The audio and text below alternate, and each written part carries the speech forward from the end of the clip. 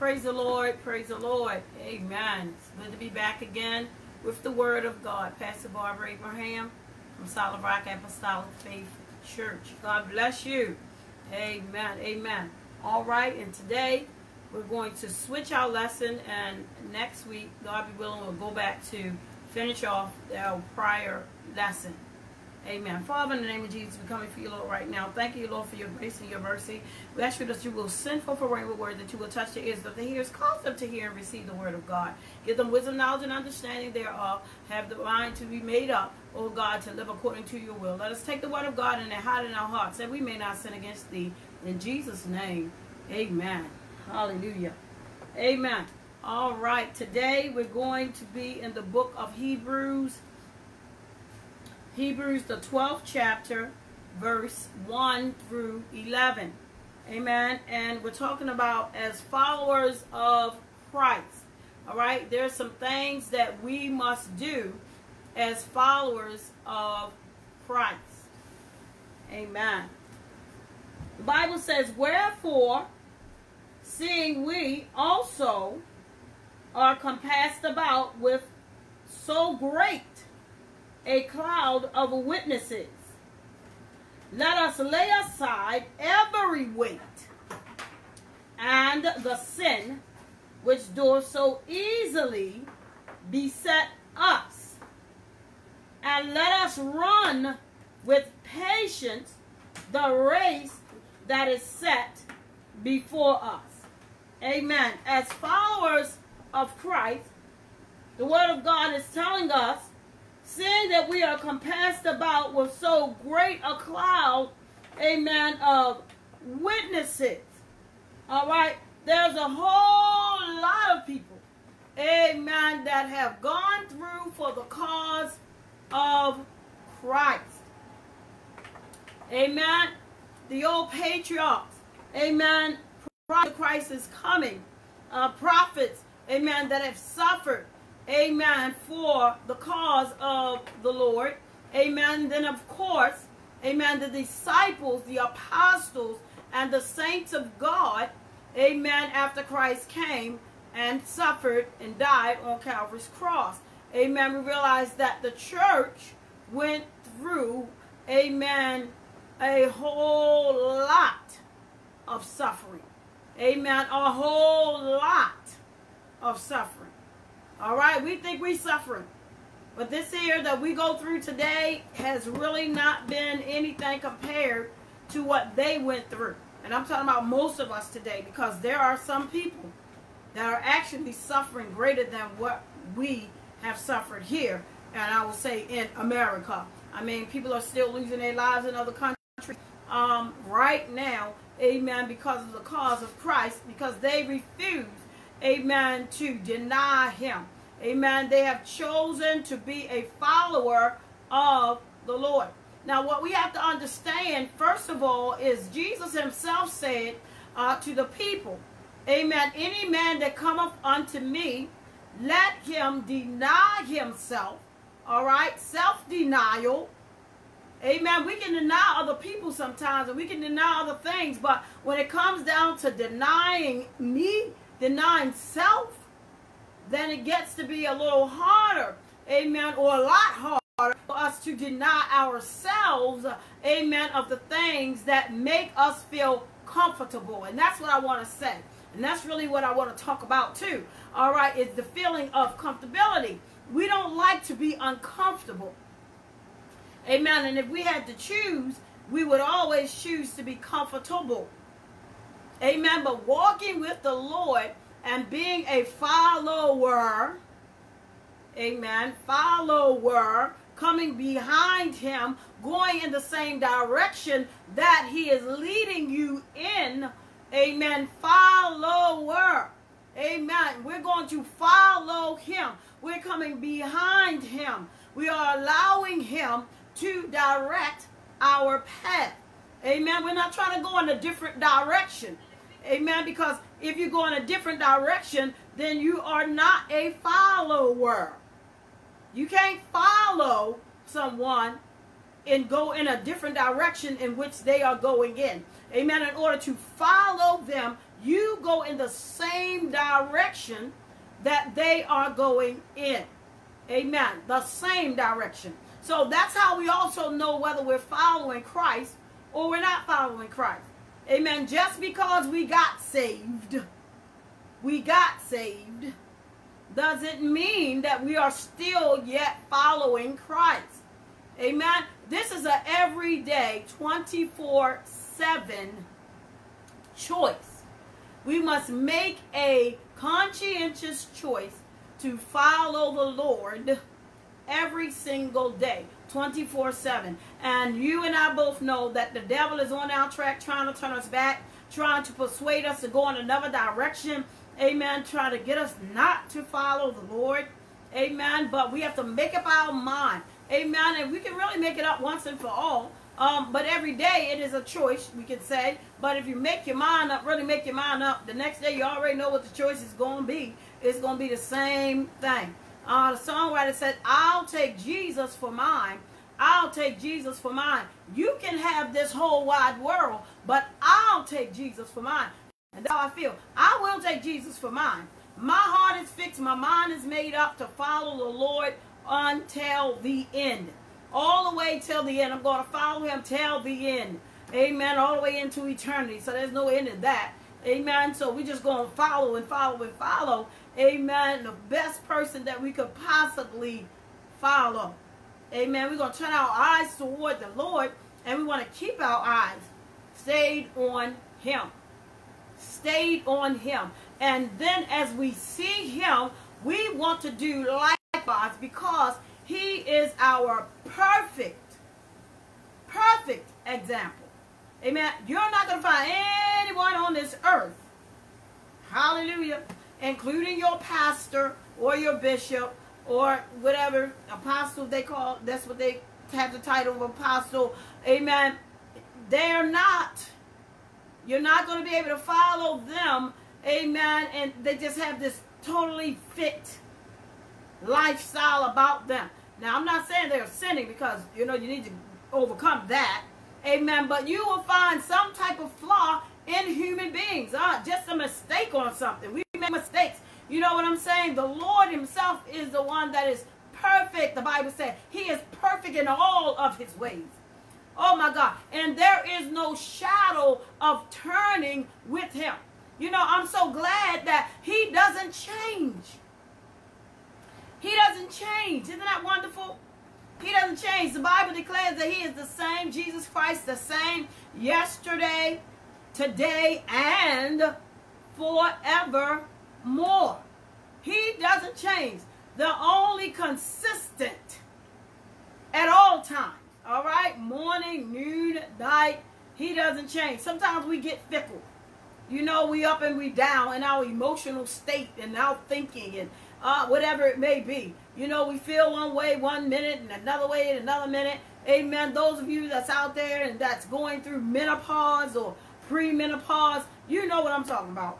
You can feel real happy right now, and in a couple minutes or seconds, you can feel down. Amen. That's because your hormones are going crazy. Amen. And they're putting you off balance. They are not stable. Amen. But the Lord is already stable. He is fixed. You can lean on him. You can trust in him. You can depend on him. Amen. He will not change up on you. And I'm so glad about that. He's dependable. You don't have to wonder, I don't know how you're going to be today. I don't know. You know, how you going to be. You know, some people you got to wonder. You know, they made what they say they got up on the wrong side of the bed. You know, you got to wonder how they going to be today. Yesterday they might have been okay, but today, woohoo! You know, like, Lord have mercy, what went on with them? They don't even know what went on with them. Nothing went on with them. You know, they just woke up in a certain way and went with it. My Lord have mercy. Amen. we can't be just going with stuff, but I'm just saying some people just that way. Do you know they woke up, they say they woke up on the wrong side of the bed. And there's only supposed to be two sides, you know, the left and the right. Where's the wrong? You know, where's the wrong side?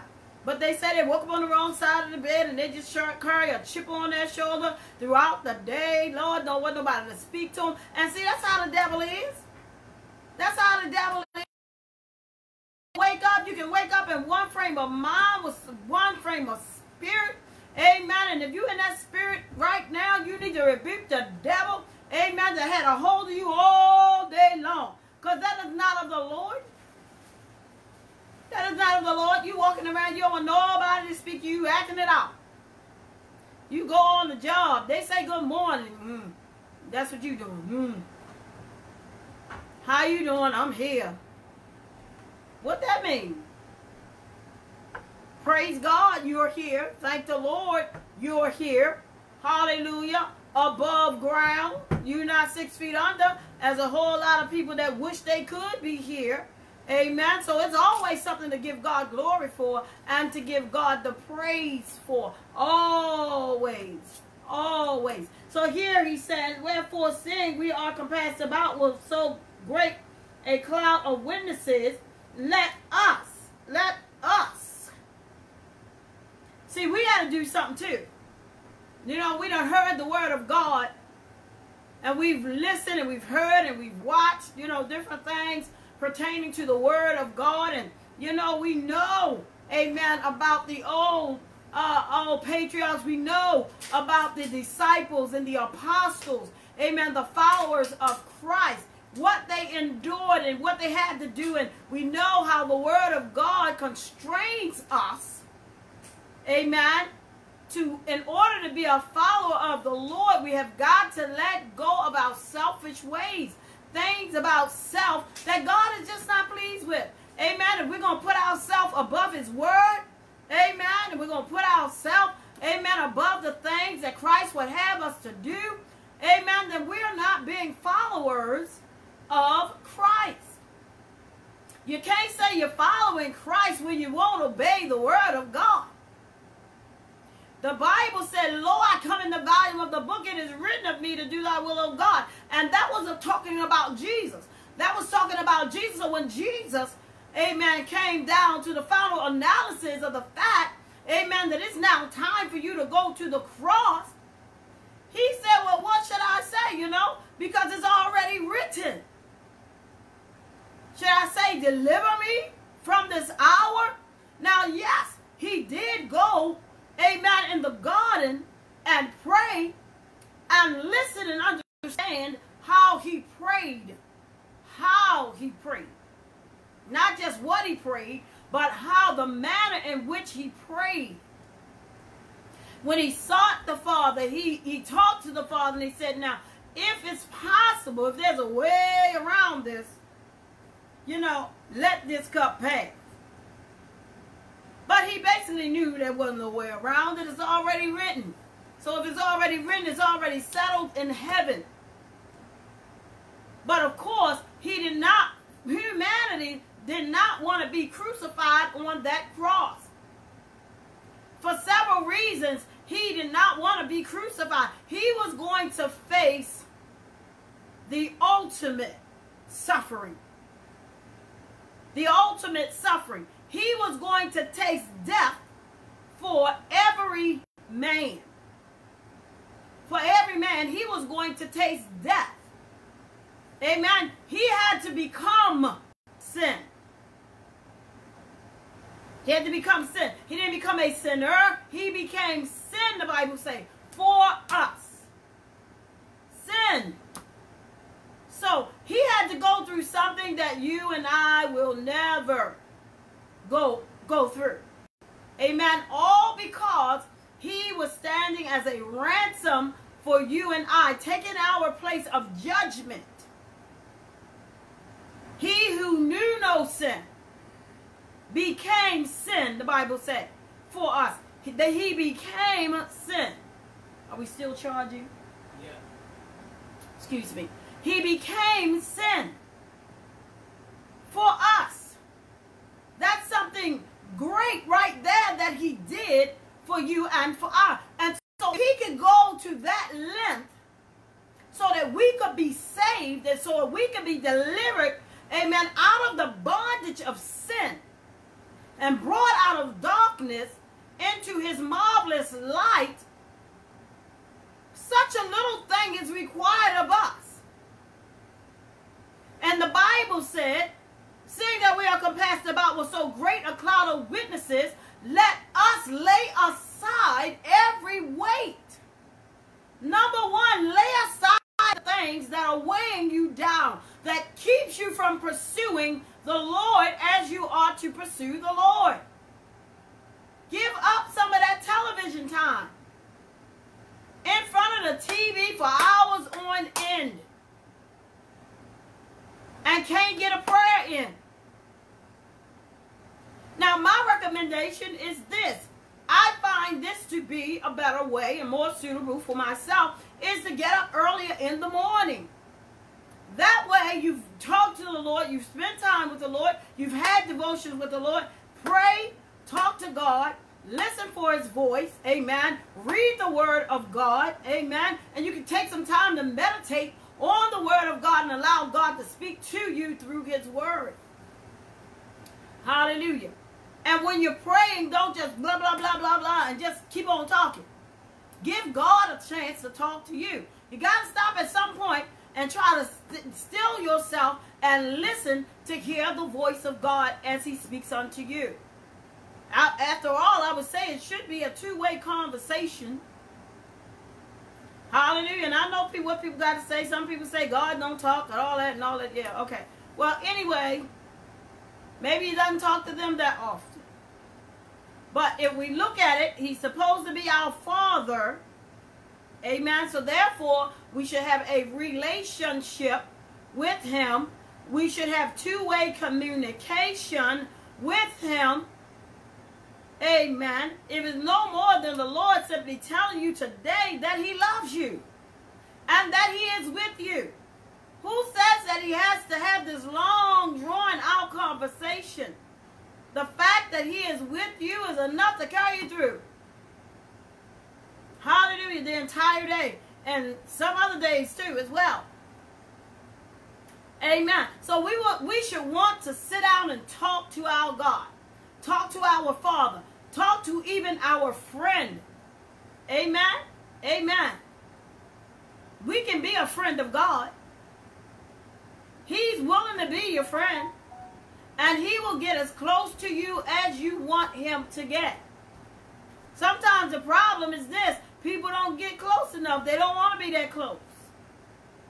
And of course, if you already have the mindset that the Lord is not really going to do much speaking, um, uh, speaking to you, then when will he really speak to you? Because you're not even going to get quiet and still before him so that he can have communication with you on a daily basis. And yes, part of the word of God, I know somebody might be saying right now, that's what the word of God is for. Amen. The word of God is for communication as well, but he still speaks to his people. Amen. Listen, Adam and Eve was in the garden. They were in the Garden of Eden.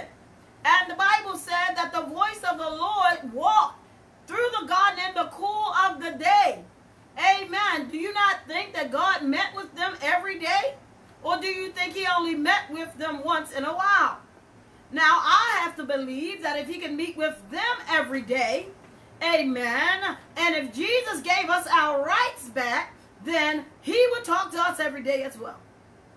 Hallelujah. I bless his holy name. I am so glad that I realize that we do not have a God. The Bible talks about Jesus in this light. Listen, we have not an high priest that is not able to be touched with the feelings of our infirmities. Uh-huh, but he was tempted in all points, yet as we. All right, but he never sinned. Tempted, but without sin. All right, so the Lord understands when you're dealing with situations, you're dealing with problems. He knows how it feels to be tired in your body. Amen. He knows how it feels to just really want to collapse. He, he knows. He knows. And so he can relate. He can relate on every level. Now, yes, there are some things that Jesus did not go through in the sense of uh, uh, particulars, but he went through every last stage of everything. The lust of the eye, the lust of the flesh, and the pride of life. Because those are the only temptations that we get. They come in various ways, but we all have to go through them and uh, uh, uh, and, and overcome them. Amen. As followers of Christ. Jesus said, Be of good cheer. I have overcome the world. I have overcome the world. Amen. I've overcome the world. So if he overcame the world, so can we. If we follow him. All right? In the way that we're going to follow him, first of all, we we need to lay down some weight. Uh-huh, uh-huh. I don't know what your weight may be. I don't know what your weight may be. I talked about the television. You need to stop watching so much TV. I'm telling you again, I told you before, TV is not the best thing for you. And all this stuff, all this junk they have on TV, I rarely watch actually regular TV. Because it's junk. There's a bunch of junk on there. And what what what what is it going to do for you? What good will it do for you? And then it has so much crazy stuff on there now, like Lord have mercy. Now they they putting so much stuff in there that's so ungodly, almost in every kind of picture you see, they throwing some stuff up in there. Amen, because they're trying to brainwash the people to tolerate these kind of things. Amen. So they're just putting stuff on there that just ought not to be on TV. I mean, back in the day, and I will say back in the day, some stuff they wouldn't even had on TV. They wouldn't even really had cursing. The cursing that they do on TV now is like, what? Good grief. All this sex having on TV. They didn't used to have that stuff on TV like that. My goodness. Back in the day, Lucy and, and her husband, they were sleeping in separate beds. Nowadays, Lord have mercy, they just all over each other doing Lord knows what in the bed. And you know what they're doing. You they showing it to you just about. Except for the covers is not off. But you know what's going on. That's the way it is today. And some of this stuff we need not allow our children to be watching. Their eyes don't need to see this stuff. Because this stuff is going to get right in their spirits. The Bible said train a child in the way they should go. Amen. That's not the way they should go. They watching wrong kind of stuff, pumping it into that spirit being. And then when they start getting fast and all that, we want to fuss at them and beat them. Well, why you think they fast? Sometimes it's because you let them watch that stuff on TV. And now you want to beat them. That's your fault. No child should be watching somebody underneath covers doing some stuff that God knows children had no business seeing. And that stuff going right, dropping right down in their spirit. Amen. Some things, that's another thing we need to lay aside if we letting our children watch the wrong kind of stuff on TV. We need to start monitoring um, what they watch on TV better. And God knows the internet these children got these cell phones. It's time that we start tapping into these cell phones. Amen. And that we, we set some um, some things up in these cell phones. So that these children can't go to certain websites and, and, explore certain things. Because there's some stuff out there where they're hunting your children. The predators are out there. And they're looking for these children. Trying to find an inroad to these children. We need to lay aside every weight. Amen. And it is a weight if it hinders you from coming closer to the Lord. If you're being hindered from coming to closer to the Lord, I don't care if it's your friend. Amen. If it's your friend, if it's your friend and they talk to you for hours on the phone every day and you can't pray, what you need to do is say, hey, why don't we take some of this time and have some prayer? And we can pray together in Jesus' name. Now, I don't mean we talking about people, but we can pray together. All right? We can pray together and have prayer requests. Let's pray for this saint, you know. Let's pray for the. Don't be telling nobody's personal business either. Don't be doing that. But if, if y'all know certain things are going on, amen, and you don't even have to know certain things are going on. Just pray for the person. Pray for them. Pray for their family. Pray for their children. You know, pray for their relatives. Pray for your church. Pray for your pastors. Pray for your bishops. Pray, pray, pray. There's so much to pray for. I mean, there's people out here on the street. They need prayer. People are dying in their sins. They need prayer. Drug addicts, they need prayer. Alcoholics, they need prayer. Pedophiles, they need prayer too. Amen. Everybody need prayer. The rapists, they need prayer. Murderers, they need prayer. Everybody needs some prayer. Everybody. The righteous need prayer. The unrighteous need prayer. Amen. The backslider need prayer. Everybody needs some prayer. Amen. So when you get to with your friend, let's say, let's pray. Amen. Because it's too much time wasted on those cell phones and or house phones if you got a house phone anymore. Because a lot of people have got rid of their house phones because they got cell phones. Amen. But on that cell phone or that house phone, you need to say, hey, we be spending three, four hours on the phone. Why don't we use some of this time to pray? And don't be talking the five, ten, fifteen minutes to pray, and then y'all running down everybody in the church for three and four hours. The devil is a liar. If anything, you need to get off that phone if that's all you can do is talk about people. Because that's backbiting, and the Bible talks against that. You're not supposed to be trying to turn nobody down. Uh-uh. Do unto others as you would have them do unto you. Love your neighbor as yourself. And would you want somebody to run you down?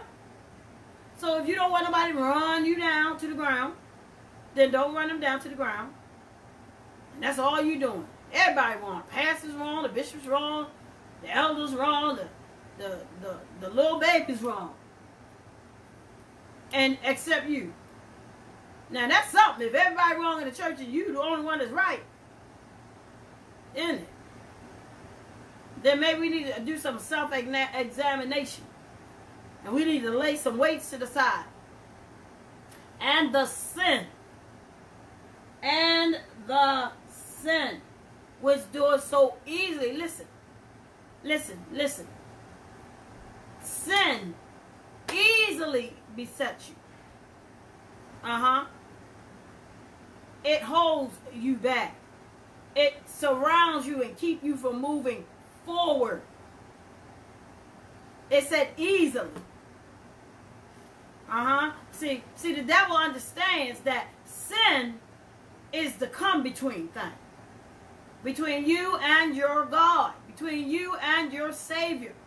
Got to get rid of sin if you're going to follow the Lord. You can't follow the Lord and sin at the same time because he doesn't sin.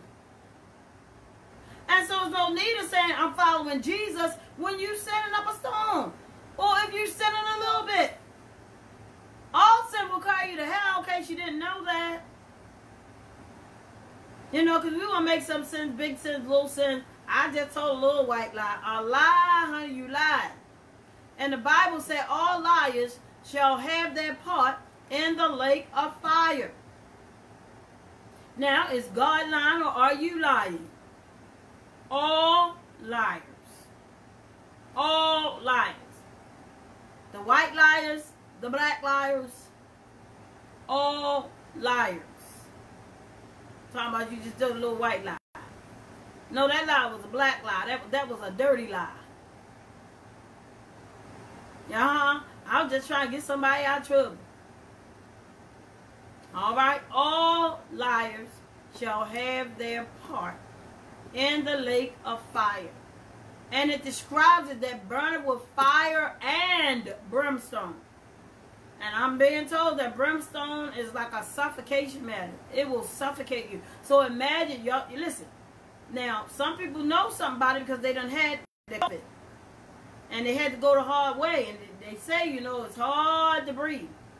So imagine suffocating and burning at the same time. You can't catch your breath and you in flames being tormented. Forever. That's a miserable state to be in. That's why we ought to understand that sin is just not worth it. Sin is not worth it for a moment of pleasure that is going to take you into an eternity where you're going to suffer throughout the entire eternity. That's crazy. There's no comparison right there to me. You, that, there's no comparison. There is no pleasure in this world worth suffering for eternity. Throughout an entire time. That's crazy. You want to sin that bad? You need to you need to rethink that. You need to rethink that and you need to rethink that right now. That little bit of pleasure that you're getting, honey, is not going to be nothing in comparison to the suffering that you're going to receive. And why are you going to receive it? Because you're rejecting the Lord. When you reject his word, you are rejecting him. When you deny his will in your life, you are rejecting him. And I don't care what you say about it, because it's the truth. It's called rejection. It's called rejection. The Lord, when he talked about Saul and his disobedience to him, and he talked about it, and then the Lord said, because because he didn't do it, he didn't do what he was supposed to do. He didn't do what I said, and then therefore I rejected him from being king, because he rejected the word of God. So God rejected him from being king. So if we reject the will and the word of God, he will reject us from coming to heaven. Why should he allow us to come to his heaven that's made for righteous folk, that's been living right, that have been washed in the blood of the Lamb, and he gonna let whoever want to come up there Talking about they called on the name of the Lord, and that's why they say and don't have nothing to do with the fact whether they sinning or they not sinning. Because this has been pumped up in their heads. And they thinking that uh, because they believe the Lord Jesus Christ and that they, you know, they supposed to be saved and they can just sin and, and oh well, they saved anyhow. Paul said, least after I have preached to others, I myself should become a castaway. I don't want God casting me away. I don't want him telling the angel to bind me hand and foot and cast me into the lake of fire. Oh no. There is nothing, do you hear me? Absolutely nothing and nobody, nobody worth going to hell for and going to burn in the lake of fire. Absolutely not.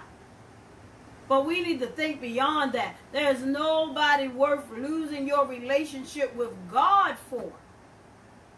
See, this ought to be the, the motivation.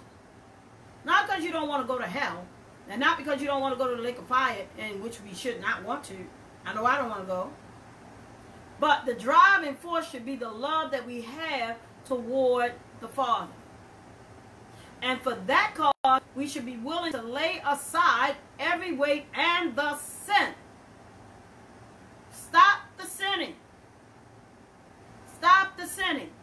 Now, if you're a sinner and you have not been saved, amen, then you need to ask God to save you. And you can ask him to save you right where you are. He can fill you with the tongue-talking Holy Spirit right now in that seat. Amen. Wherever you are. He can fill you with the Holy Spirit right now. He's able to do it. Hallelujah. And receive you the Holy Ghost. Receive it in Jesus' name. Amen. And, and, and listen. So whether you be a sinner, he's waiting to save you. But if you're someone that had been saved already, then you need to be laying aside every weight and the sin because he is really talking to the church. This is an epistle, a letter that's written to the church. Yes. The people that already been down in Jesus' name and been filled, been filled, been filled with the Holy Spirit. And they're supposed to be walking upright before the Lord. Supposed to be. But are choosing to go the wrong direction. It wouldn't be in the Bible if people weren't choosing to go the wrong direction. The Bible is written for our example, the Bible said. For an example to us. It is speaking to us it is telling us how to live according to the word of God, how to follow the leader, which is Christ Jesus. Amen. And the leadership that is over you. Paul said, Follow me even as I follow Christ.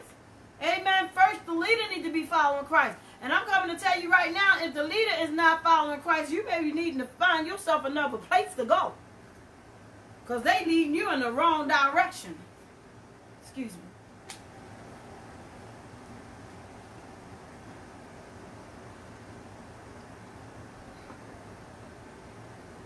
They leading you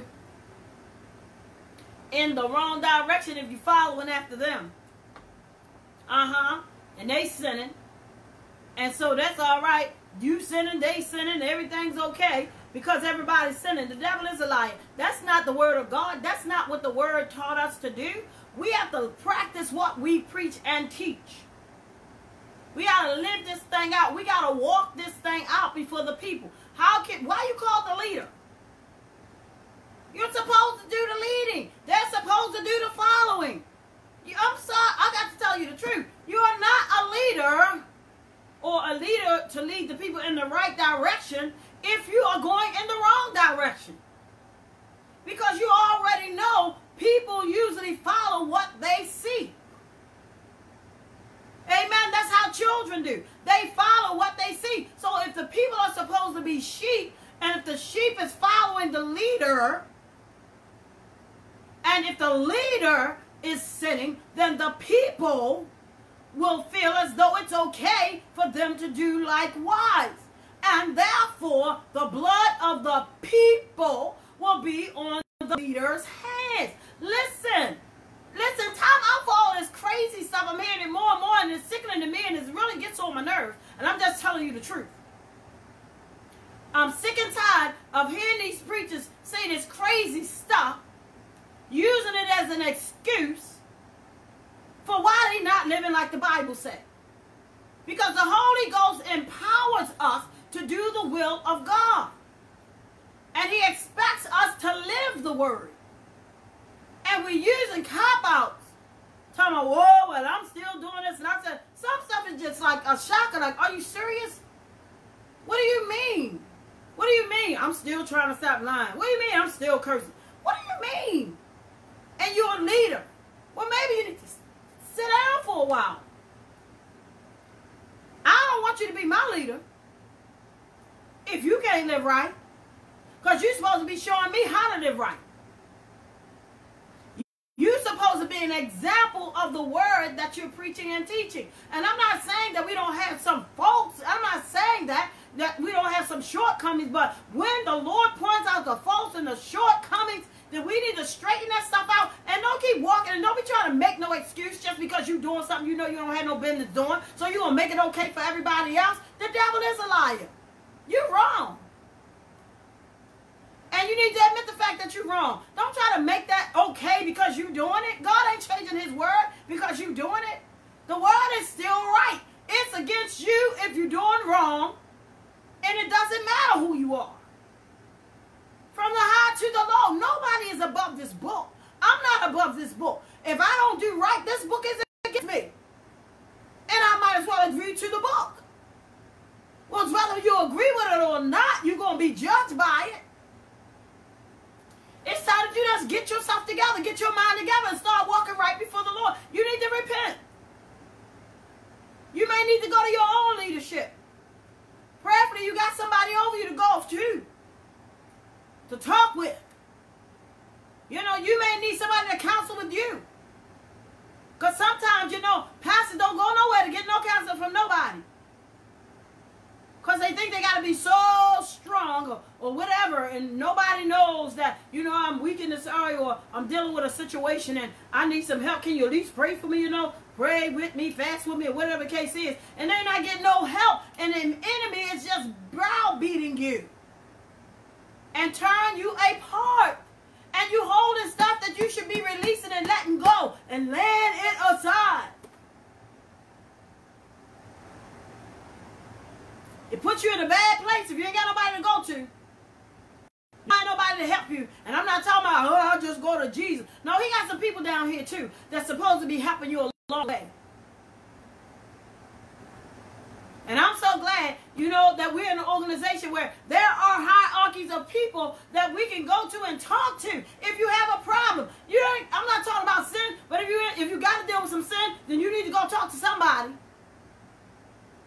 But you have other issues in your life. And you should be able to sit down and have a conversation with somebody that has some wisdom. The Bible said there is safety in the multitude of counselors. But if you don't have no counselor, then you're not being safe. You're not safe. You're all by yourself trying to do it. You need somebody to help you out. So I don't know who I'm talking to. You know who you are. God know who you are, because you right you right here. And he's trying to help you. You need somebody to help you. And if you don't have it in your own personal organization, you need to seek for some help somewhere where somebody can listen to you and what you're dealing with in your life, your life, because you're dealing with other people's lives. But somebody need to be able to help you sometime. I'm not saying you run to them all the time, because you should have some strength now. You shouldn't have to be running to somebody all the time. All right, because you should you're a leader, so you should have some kind of strength. But the time when you feel like, whoa, like I'm just getting a little kind of hard for me or heavy for me, you need to have somebody to talk to. Amen. So I really, I'm really, you know, I, my prayer is that God will bless you with the right people. Amen. Bless you with the right people that will understand. Amen. Amen. And that, that's not trying to uh, um, jack your life up or whatever the case may be, but will understand and be able to help you and speak life into you yet the more. You need those kinds of people. My Lord, you, you really do. You need those kinds of people. All right? All right? But make sure you get the right kind of people because you know the wrong kind of people. You don't want them. Amen. Because it might go a whole different way. So we need to be laying aside every weight and the sin that does so easy beset us. All right? We need to lay it to the side. Put it down. Stop doing it. Nothing should be more important to us. Nothing should be more important to us than our relationship with the Lord. Following the Lord. Going in his direction. Jesus took time out to pray and seek the Father. And none of us are better than Jesus. And you got to know, and I got to know, if Jesus prayed, we definitely need to pray. Good God in heaven. Because there's so much going on right now. Oh my God. I know it is in my life. It's a whole lot. There's a whole lot going on in the world, you know. And sometimes you going going through your own things that you gotta go through in life, you know. You know, you gotta go through what you gotta go through. And amen, you better be hitting your knees talking to the Lord. He's the one that keeps you in perfect peace. I know he's the one that keeps me in perfect peace because I'll be the I I'd be the went off, I'd be the woo one cuckoo for real. I'm just telling you the truth. I would not have no peace if it wasn't for the Lord. I know how to call on the name of the Lord for some peace. And he gives me peace.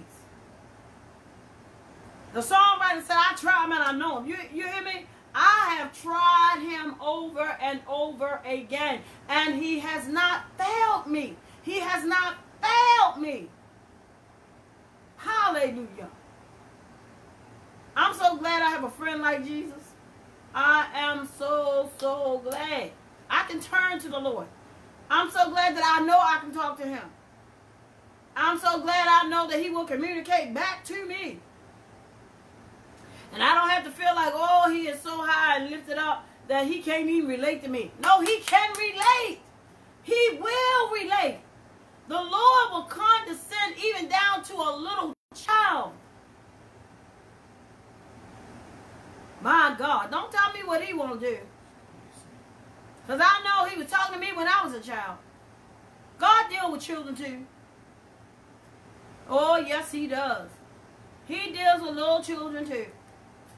And he will talk to little children too. That's why we got to be careful. Oh, can't no little child tell me nothing. Well, that's the problem because you're looking at the little child and you're not looking at the God in the little child that's using the little child. Because if God is speaking to the little child, it is no more the little child, but it is God talking to you.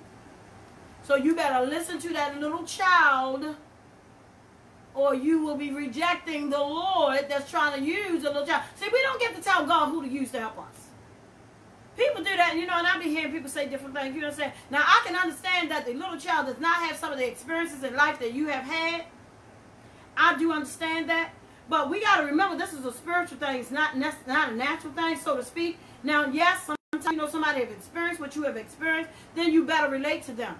But when God himself is using this individual to talk to you, I don't care who it is. That ain't them. That's God talking. You better open your ears and hear what thus saith the Lord, and you don't pick and choose who he going to use to talk to you. All right? And for those that be saying that stuff, let me tell you something else. Let me tell you something else. They can't talk to me because they didn't do this and they haven't done that. They haven't been there, haven't done that. They can't tell me nothing. Oh, they can't tell me. They can't tell me. Well, then, Jesus can't tell you nothing either. As a matter of fact, God can't tell you nothing. Because he ain't never sinned. He never did any of that stuff that you did. And what some of you currently doing right now. The Lord has never done it. So, the Lord can't tell you no. Because he never did it. When Jesus was down here walking the face of the earth, he didn't do that stuff. He was never strung out on drugs. He was never. He, he was never an alcoholic. Never. He never committed fornication, adultery, none, none of those sins. He never did it. He wasn't no liar. He didn't do any of it. Any sins that that's on your list, Jesus did none of them. So are you saying that he can't talk to you? Because he can't he can't relate?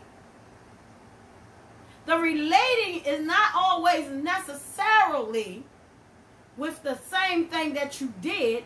It is with the three things the lust of the eye, the lust of the flesh, and the pride of life. The Lust of the flesh, lust of the eye, the pride of life. And even if somebody have not encountered those things, which they will, even if they had not encountered those, when God speaks, God speaks. And God has continuously used individuals that have not done the things that the other people were doing to tell them to stop doing it. So that has nothing to do with it. Stop saying stuff like that. You're rejecting God.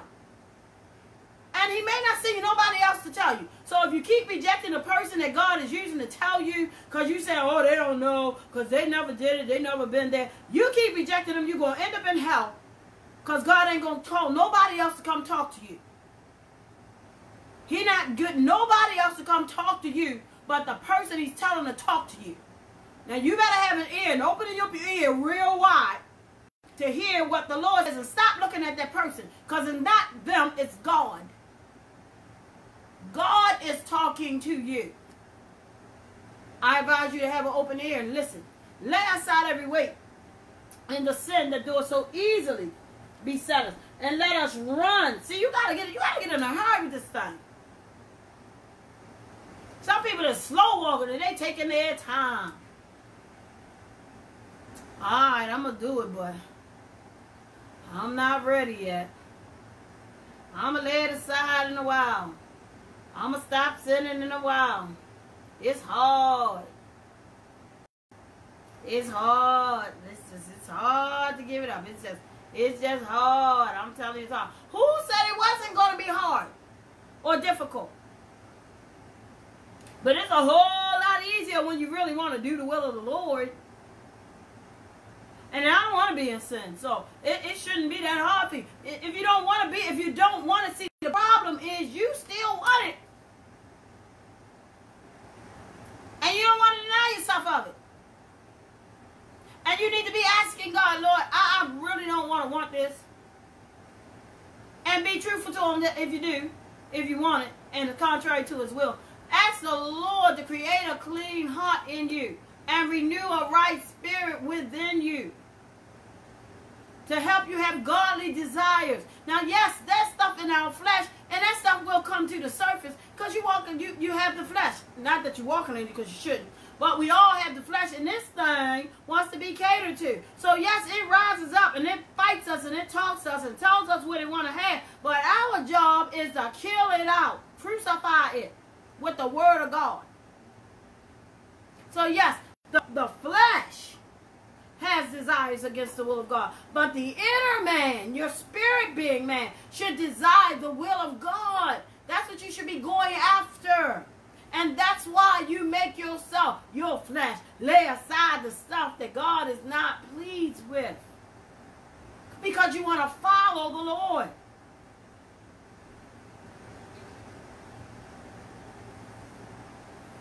Run with patience the race that is set before you. Well, why I got to do it with patience? Because everything is not going to happen in a time that you want it to happen. Uh-uh. So you're going to have to have some patience. You know, sometimes people want to be 100 overnight. And I can understand that. But it doesn't come overnight. The steps of a good man are ordered by the Lord. Steps. Step one, step two, step three, step four. Steps. You move from one thing to another thing, to another thing, to another thing. Progression. But keep pressing forward. Keep pressing forward. Don't give up. Don't give in. Keep pressing forward. Press into the Lord. Press into the Lord. Press into the Lord even the more. The harder it is, press in more. Press. You gotta press. We gotta press our way. If we think we're going to heaven on a flower bed of ease, we can just forget it. It will not be a flower bed of ease. I'm coming to tell you now. The Bible has declared that we're going to suffer. This flesh is going to suffer. He that has suffered in the flesh have ceased from sin. That's the only way you're going to cease from it is you're going to have to make yourself, your flesh suffer. Because it's going to suffer when you tell it no. When, say, when you tell it no, you ain't doing against the will of God. No, you're not going there. No, you're not going to say that. No, you're not going to think like that. No, you're not going to respond in that manner. The flesh don't like it. It wants to do what it wants to do. When it wants to do it and how it wants to do it. And it don't want to worry about the consequences. Because the flesh is stupid.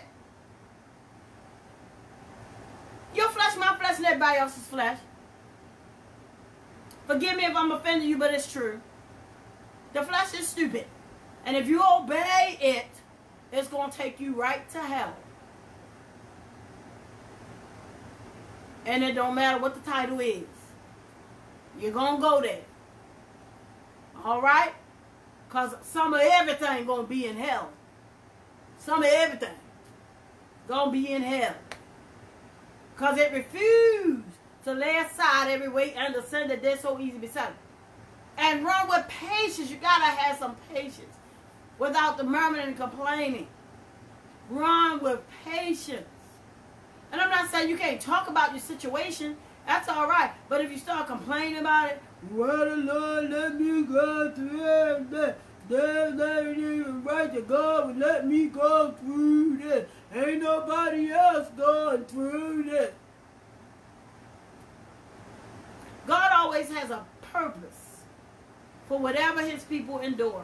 And we have to get that mindset to understand. It's not always easy now. But we have to get that mindset to understand that in everything, God has a purpose. And that's why the word of God can tell us in everything, give thanks. For everything, give thanks. It says both, both, both ways. And you might be saying, well, Lord have mercy. I'm having the worst thing ever in my life. How in the world am I going to tell God thank you for that? Tell him thank you because he already foresaw it. He already foresaw it. Whatever you may be dealing with, the Lord have already foreseen it. And it's going to work out for you good. He got something great in store for you. So you might as well throw those hands up and tell the Lord thank you. Hallelujah. Hallelujah. Because he knows what's best for you. He knows what's best for you. And I just got to love him. I just got to love him. I just got to love him. I'm telling you the truth. Because he always to make sure it works out for the best. Whatever it is. That's, that's the wonderful thing about the Lord. You hear me? The wonderful thing. That's one of the wonderful things about the Lord. So we're running with patience. Uh, the race that is set before us because we have a race. Everybody, all of us have a race that we run and it's set before us. Amen. And there are obstacles on in this race, on on that uh, racetrack. Amen. Sometimes you got to jump over some hurdles. Uh huh. But keep on running, honey. Keep on running. And let me tell you, sometimes the devil is running right beside you and trying to trip you up at the same time. Amen. The Bible said, watch and pray. You got to watch out for the enemy. Because he's going about as a roaring lion seeking whom he may devour. Amen. He's looking for somebody to destroy. But you just got to make sure that it don't be you. You need to let the devil know. You might be getting some other people, but what you're not going to do is get me. I know you after me, but you're not going to get me. Because I'm running for the Lord. Looking and looking unto Jesus, the author and finisher of our faith. So listen, he is the beginning, he's the author, the starter, the originator of our faith. That's who we're going to look to. Uh-huh. Laying aside the weight and the sin that's holding us back, that's keeping us from pursuing the Lord, that's keeping us from following the Lord as we are to follow him. And we're going to look to Jesus, the one that we're following. Because he started this thing. He is the author and the finisher of our faith. It starts with him and it ends with him. You know how people say the buck stops here? Well, the buck stops with him. Hallelujah. Everything is riding on him. So you look to him. The songwriter said, Look to Jesus Christ, and it is recorded in his word. Hallelujah that you only have to look and live. You got to look to him and you will live if you look toward him and you follow him.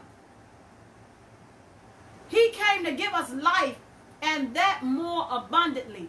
That's what he said out of his own mouth. He said, I came to give you life and that more abundantly. Abundance of life. You got to look to him though. I have to look to him.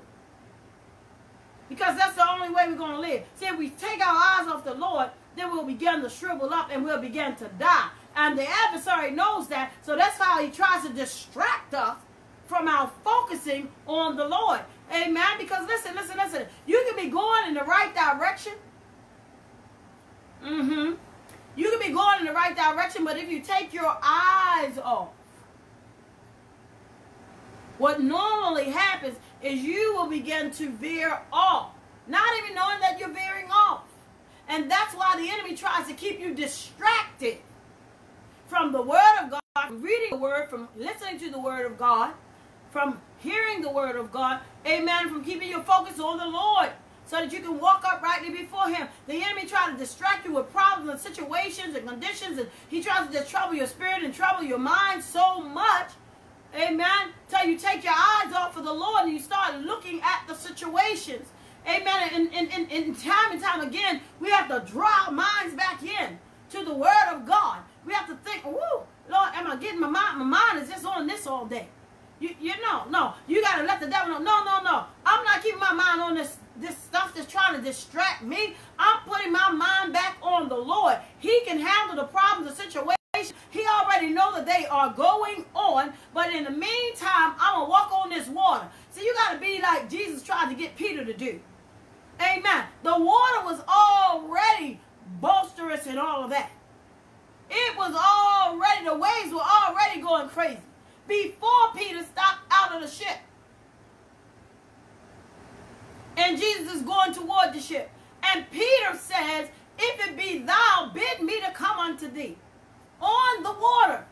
And Jesus says to him, Come on. And Peter gets out of the ship with the water already being disturbed. He's walking on the water, but then he starts looking at the water instead of staying focused on Jesus, and that's when he began to sink. And that's why we got to grab a hold to our minds and put our minds back in the right places, right place, because once we take our mind, our mind off the Lord and start focusing on what we're dealing with and our problems and adversities and tests and trials and tribulation, all this is coming and happening to me. And we just focusing on that. And we just go through the day and we focusing on that. We lay down with it. We wake up with it. We go out the day with it. Amen. And our focus is not on the Lord. We begin to sink. And the enemy is just waiting for us to totally go under the water and hoping that we drown. Put your focus back on Jesus. Forget about what's going on around you. That's God's problem. He's going to work that out. And anything part that he wants you to do in it, you do that part and you leave the rest to the Lord. And you have peace. It is the will of God that you have peace because he is peace. The devil want to bring disturbance and disruption and chaos and he want to mess your mindset up. Mess your spirit up. Get you all out of whack. Draw your mind back into focusing on the Lord. Focusing back on the Lord. Looking unto Jesus, the author and the finisher of our faith. Listen.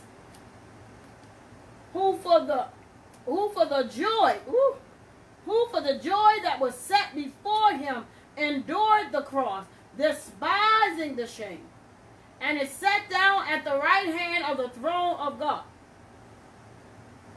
For the joy of who for the joy that was set before him. See, you gotta see you, gotta see the other side of through. Stop saying just the fact that you gotta go through. But see what's eshalabohosha. You gotta shanamo shata. You gotta look and see what's on the other side of through. Something good is waiting for you on the other side of through. Something good is waiting for you on the other side of through, but you gotta get through. But you, God wants you to focus on that, the joy that was set before him. He understood that, see, I got to go through this cross. I got to go through this blood, this cross. My blood's being shed on Calvary. And I'm going to I'm dying for the sins of an entire world. So that I can save mankind from their sins. So that they may not go to a Christless grave and end up in hell. And he had joy, joy, joy, joy, joy, great joy that was set before him. So he endured the cross, despising the shame.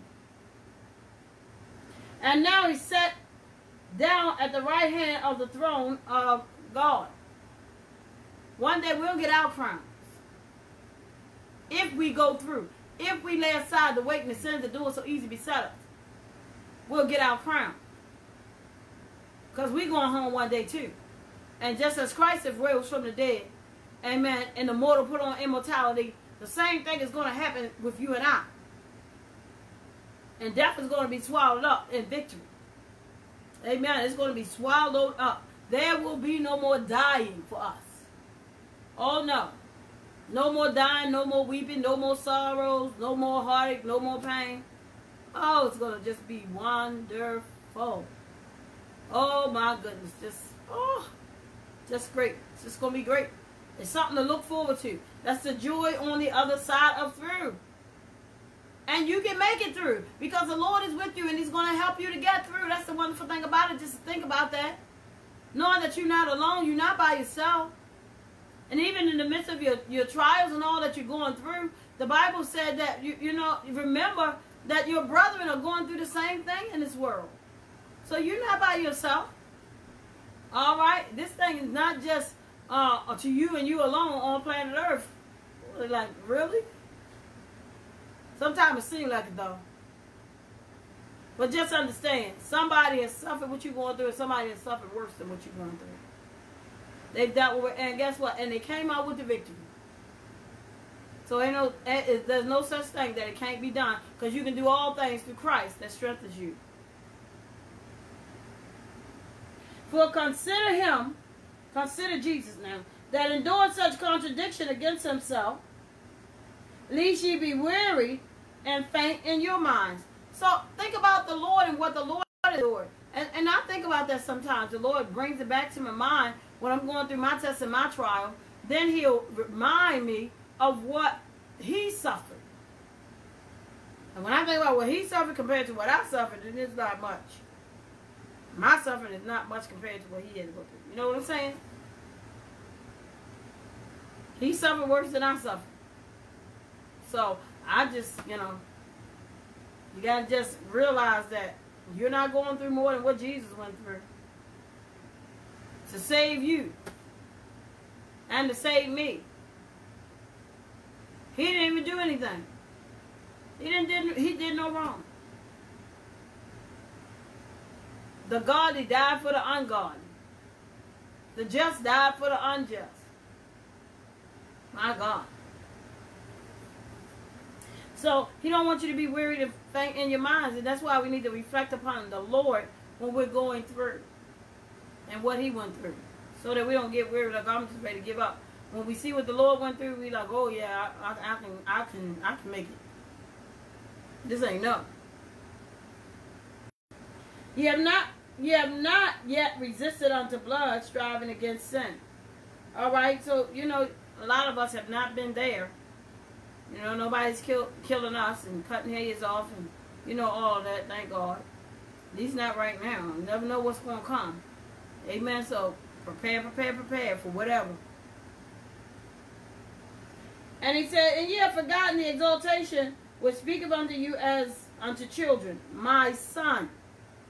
If you're going to be a follower of the Lord, then we need to be dear children unto him. My son, despise not the chastening of the Lord, nor faint when thou art rebuked of him. Don't don't hate the chastening of the Lord. Don't talk against the chastening of the Lord. And don't give up when the Lord rebukes you. Oh man, I just can't do nothing right. You know that's what people do. Some people say, I can't do nothing but I quit. There's no time to be quitting, honey. This is far beyond time to be quitting. If you was gonna quit, you should have quit before. Now, oh no. Oh no. Too far in the game to quit. You should have been quit a long time ago and then got it right, hopefully. You know, ain't no time to quit now. No. It's time to hold on to God with everything within you. Because the battle is on. Sure enough. Ha. It is on, it is on, it is on.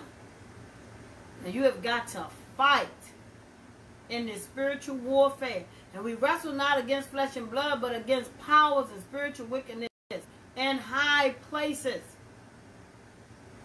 That's what we wrestle with. Uh-huh. And a lot and, and some of those little demons, you know, sometimes we ain't wrestling with the little demons like we just wrestle with the big ones.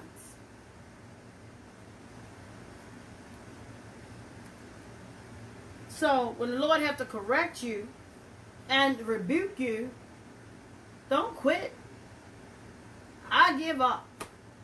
Don't give up. That's what the devil wants you to do. Hang on in there. It's just like a father with a child. He must discipline them if they're doing something wrong, or correct them, or rebuke them, or whatever the case may be, and say, hey, no, why are you doing that? You shouldn't do that. Do this. Go this way. Don't go that way.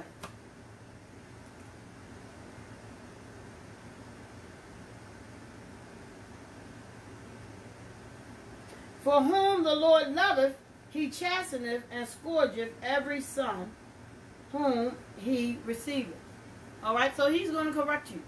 If you're following him, he's going to correct your steps. He's going to correct you. Say, no, that's not the way I went. That's not the direction I took. You know, just like that little cliche, what would Jesus do? Now, that's what the Lord be saying. What would I have done? And if you didn't do what I would have done, then you didn't do it right. Uh-uh. Then you get it, get the test again, you know, so you can do it right. And again, and again, and again, and again, and again. So you can do it right. Uh-huh. And sometimes the test might seem like the same test, but it's not for the same reason. Because it's something different that he's doing. Or whatever he's doing, let him do it. So that we can be everything that we're called to be. So that he can be glorified in us. Uh-huh. If you endure chastisement, God dealeth with you as with sons. For what son is he whom the Father chasteneth not? So listen. So if the Lord is chastising you, rebuking you, setting you straight, then He's dealing with you as a child of His, as a follower of Him. That's what that's what your natural parents do. They chastise you, make sure you get on the right road. And if you're not doing that and you're a parent, shame on you. Shame on you. Because that's the way you help your children. You help them to have a better life when you train them to do the right thing. But if you refuse to train your children to do the right things, then you make them a child of hell. The Bible talks about that. So when they go to hell, you can pat yourself on the back because you didn't teach them the right way. And then you have to stand before God and you, you can give an account on that behalf. Because we're supposed to raise our children in the fear and the admonition of the Lord. We're instructed to do that. Amen.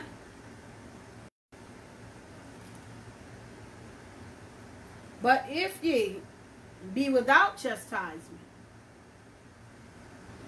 whereof all are partakers, everybody else is partaker of it, you not, then are ye bastards and not sons. You know, bastard is an illegitimate child, you know, when the parents weren't married. Uh, that those are the, that's what they call bastards. Furthermore, we have had fathers of our flesh which corrected us, and we gave them reverence. As shall we and reverence. Shall we not much rather be in subjection unto the Father of spirits and live? Listen, if we obeyed our natural parents and we respected our natural parents, amen, and we took the chastisement of our natural parents, should not we even the more respect God and receive his chastisement? Amen. And don't murmur and complain against his chastisement. Amen. And respect the Lord. Now, I know some of us, you know, um, like myself, when I was young, growing up, you know, my mom would get me, pop me, whatever the case may be, and um, tell me go upstairs go upstairs. Whatever the case. When I'm going upstairs, you know, you know, sometimes we you know we kind of mumble and stuff. You know, you might not be wanting them to hear because then you really gonna get it. Yes, you know, I did do that. I gotta admit it. You know, mm, you know, you be saying some stuff, but if they heard what you was saying, you might have a bloody lip. Whap up right in the mouth. You know, that's what they did back in that in the time. You know, I think some people probably use some of that now. But anyway, hallelujah. I'm not telling nobody to abuse no child. I'm not telling nobody to do that. So don't even say I wasn't told to abuse. I'm not in abuse. I'm in into correction though. Because the Bible is into correction, not abuse. All right? So we have fathers after our, our flesh, which corrected us, and we gave them reverence. Shall we not much rather be in subjection unto the Father of spirits and live? For they rarely, for a few days chastise us after their own pleasure in their manner to, for, for their purposes, but he for our profit. When the Lord chastises you, for his profit. Sometimes the parents might do it just because you got on their nerves, you made them mad. The real reason to chastise a child is not because they got on your nerves and made you mad, but it's because you're trying to correct them for a better life, to be ahead of them, to, to help them. And, it is helping them to respect you as well, but, you know, to help to form and shape their lives. Amen? So they can be better and upstanding citizens. For they verily for a few days chastised us after their own pleasure, but he for our profit, that our, that we might be partakers of his holiness. Because if you're going to follow him, in order for you to follow him and be partaker of his holiness, amen, he got to set you in order. He got to set you right. He got to get things out of you that don't belong in you. Amen. And that includes having you to lay aside the weights and the sin to do it so easy beside you.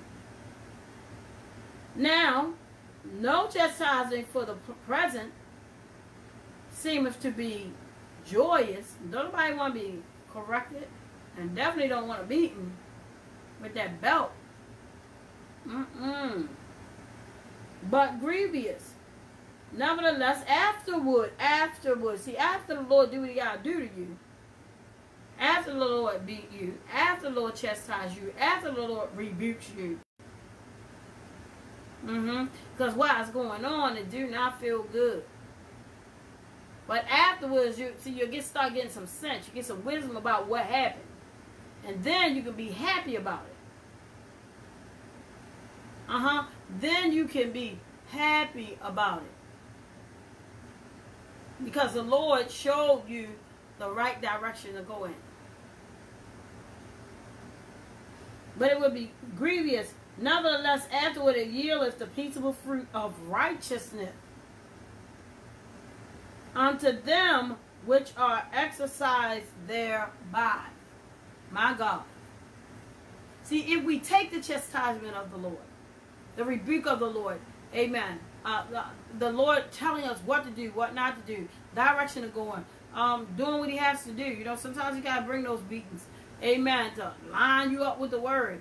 All right, but it's going to bring forth the peaceable fruit of righteousness. It's going to bring forth the peaceable fruit of righteousness. And that's why we ought not to despise the chastening of the Lord. Amen. We should be grateful for what God, when He chastised us. Amen. And try to make sure that the next time, amen, he won't need to do that. That's what we want to do. Try to make sure that the next time he won't need to come by and do that. Amen. We want to be followers of Christ. We want to follow him in the straight and the narrow way.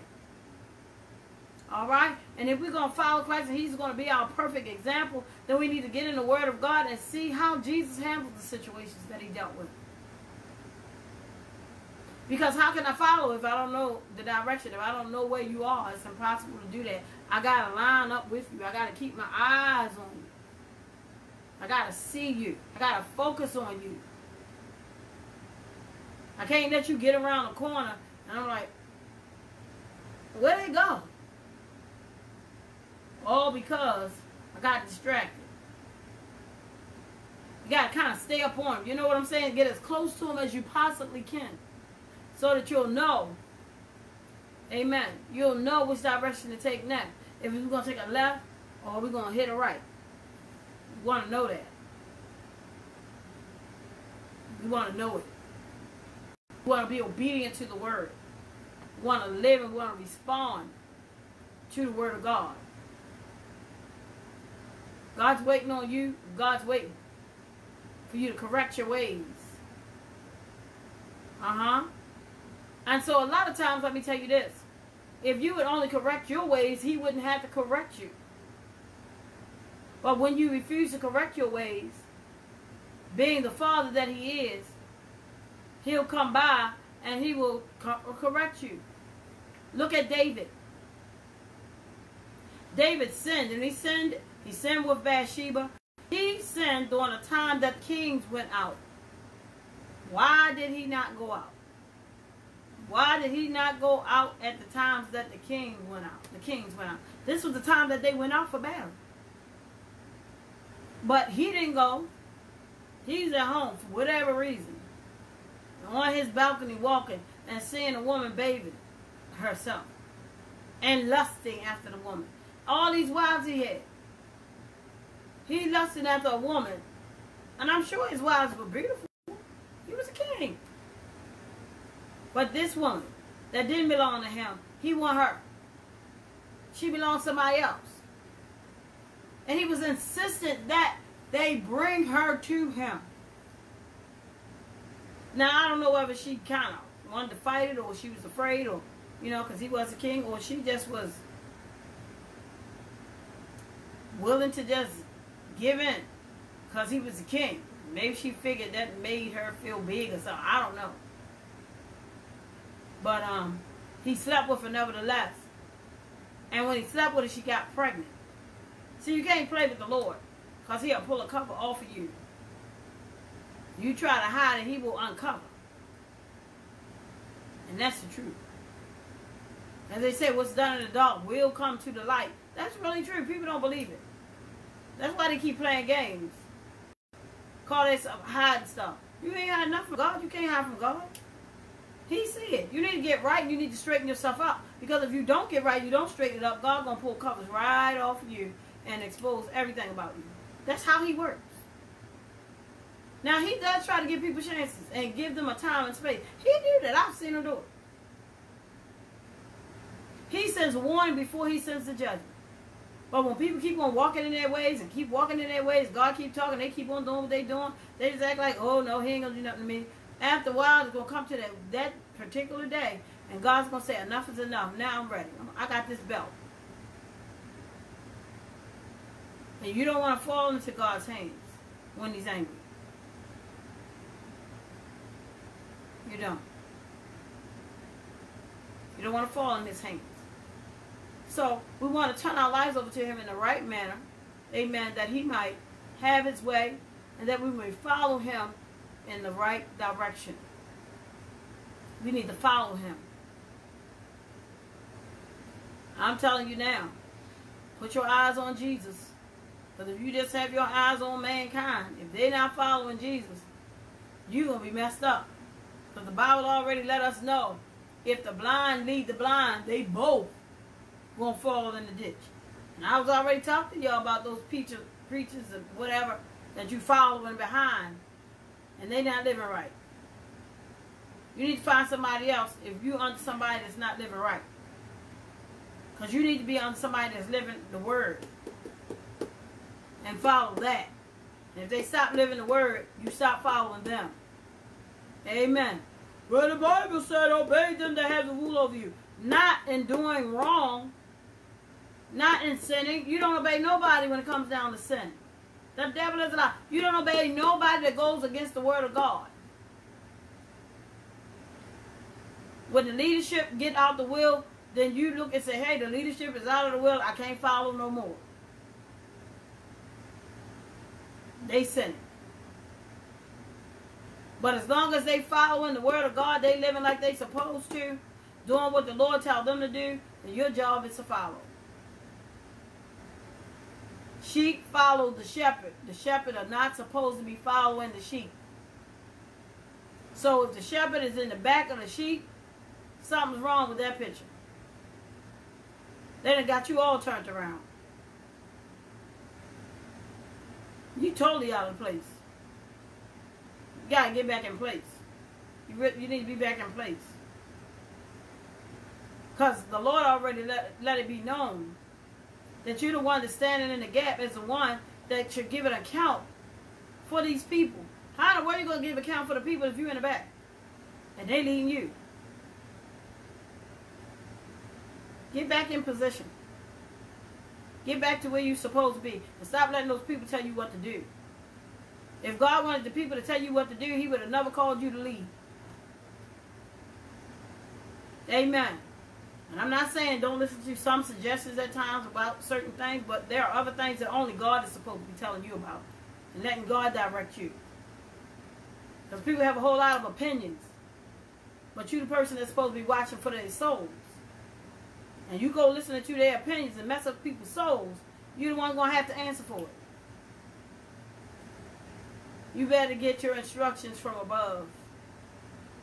Or talk to those that are higher than you to make sure that you, you understand what the Lord is saying. Amen. Amen. We truly thank God for you on tonight. Amen. And for his word, we pray that something have truly been said.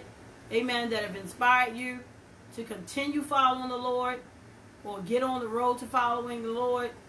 Amen. And to keep following the Lord. And if you strayed away, get back on track. Amen. To following the Lord. Amen. And don't stop following him. Go all the way to the end. Amen. And through the end. All the way. All the way into eternity. Following our Lord and Savior Jesus Christ. Amen. Amen. And we pray that, amen, you lifted your hands up and that you allow God to fill you with that tongue talking Holy Spirit. But if you have not, amen, you still have opportunity in which to do so right now. Amen. Receive ye the Holy Ghost in Jesus' name. Amen. Let God fill you up with the Holy Ghost. Amen. With the evidence of speaking in other tongues as the Spirit of God give you utterance. Amen. And you can always be baptized in the name of our Lord and Savior Jesus Christ. Amen. You can do it tonight. If you're home, you can't get to a church. Amen. Amen. Fill that tub up with some water. Get in that tub. Amen. And let somebody say the name of Jesus Christ over you for the remission of your sins. Amen. Get baptized. Get baptized. Get that sin washed off of you. Amen. Get that sin washed over you, off of you, and let God forgive you for all those sins. All right, according to the word of God. Amen. We're asking, Lord, asking you all, amen, that you will be a blessing to the ministry as well. Amen. As you have received of the ministry. Amen. It's not just one sided, but we are supposed to do both parts. Amen. As you receive, as Paul said, amen, uh, the spiritual things, and you are to give of your carnal things. Amen. we want you to bless the ministry. Amen. Go to Solid Rock Apostolic Faith Church on your Givelify app. Amen. Amen. And of course, again, you will see me with long wavy hair. Amen. And I have on a robe. Uh, I believe it's like gold and black with some white in it. Uh, perhaps so. You'll see that. Just click on there.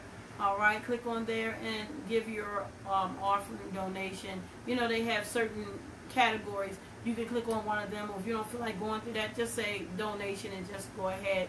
Amen. And give that amen, to the ministry on tonight. Go ahead and do that right now. Amen. That God may bless you and bless you richly. Amen. For helping the ministry. Amen. Amen. Amen. For promoting the ministry. Amen. It's not just good enough that we, we ourselves sit down and eat. Amen. But we also want to promote it. Amen. So that we can help fund it so that it can go further. Amen. So it can go further and do more. Amen. For Christ. Amen. At this time, I'm going to pray, amen, a prayer for you now in Jesus' name. Father, we come before you. We thank you, Lord, for your grace and your mercy. We thank you, Lord, for your healing and your deliverance in the minds and in the hearts and spirits of the people on today whatever their situations are, look into their lives, Lord. Heal them and deliver them. Turn things around the right direction.